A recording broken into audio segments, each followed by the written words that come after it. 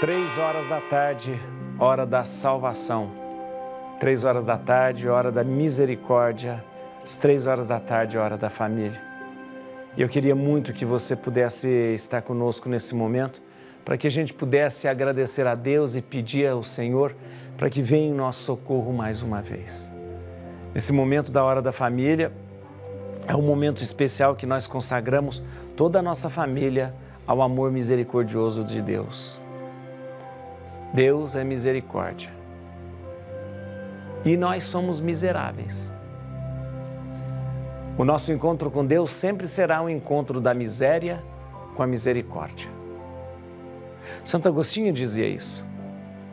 Santo Agostinho dizia que naquele momento em que a pecadora encontrou-se com Jesus e todos que queriam condená-la foram saindo um a um, no, no final restou somente Jesus e a mulher. Santo Agostinho dizia: sobrou somente a misericórdia diante da miséria. Todas as vezes que nós nos encontramos com o Senhor, é justamente isso que acontece. É o encontro da miséria com a misericórdia. Nós, miseráveis, pelo nosso pecado, mas miseráveis pela nossa limitação, pela nossa contingência. E o Senhor, misericordioso, com amor infinito que se derrama sobre nós para nos amar cada vez mais, mais e mais. E é justamente quando nós, miséria humana, se encontra com o Senhor misericordioso, somos então transformados por esse amor, divinizados por essa graça. Olhando para a cruz, nós entendemos o quanto Deus nos amou.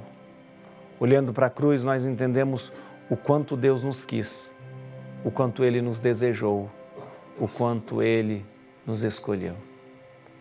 Deus é apaixonado por nós. Deus é apaixonado por nós. Sinta-se tocado por esse amor infinito e imenso e apaixone-se cada vez mais pelo Senhor.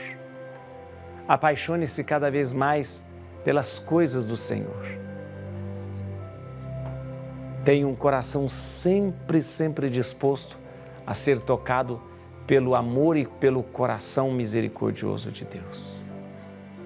Hoje eu quero que você apresente diante de Jesus misericordioso todas as suas aflições, todos os seus medos, todas as suas dores, todas as suas angústias. E deixa com que o Senhor possa curar tudo isso.